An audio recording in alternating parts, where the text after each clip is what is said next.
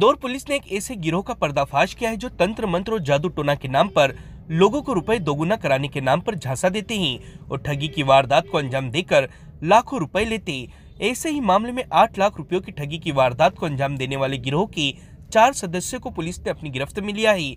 दरअसल, मामला बाणगंगा थाना क्षेत्र का है, जहाँ ग्राम जाखिया में रहने वाली फरियादी किरण कौर ने पुलिस को शिकायत दर्ज कराई थी कि कुछ दिन पहले उसकी मुलाकात तांत्रिक जाकिर खान से हुई थी।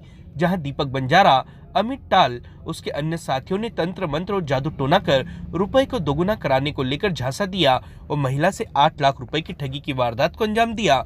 शिकायत पर पुलिस ने नागदा से तांत्रिक जाकिर खान, मंसूरी सहित अन्य तीन आरोपियों को अपनी गिरफ्त में लिया है।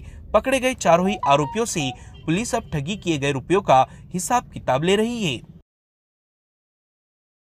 इंदौर में इंटीरियर डिज़ाइनर करुणा शर्मा आत्महत्या मामले में आखिरकार पुलिस की जाँच पूरी होने के बाद चार आरोपियों के खिलाफ आत्महत्या के लिए प्रेरित करने की धाराओं में प्रकरण दर्ज कर लिया है।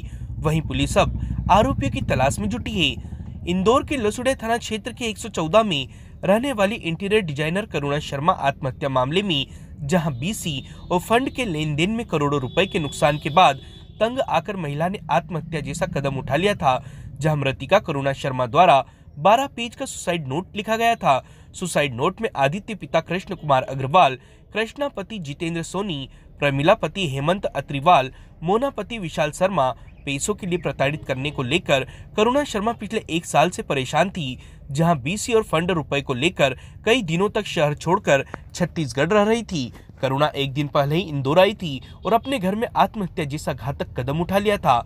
आत्महत्या की घटना सीसीटीवी फुटेज में कैद हुई थी। मामले में पुलिस ने पोस्टमार्टम रिपोर्ट और परिजनों के बयान के आधार पर चारों आरोपियों के खिलाफ आत्महत्या के लिए प्रताड़ित करने की धाराओं में प्रकरण दर्ज कर लिया है।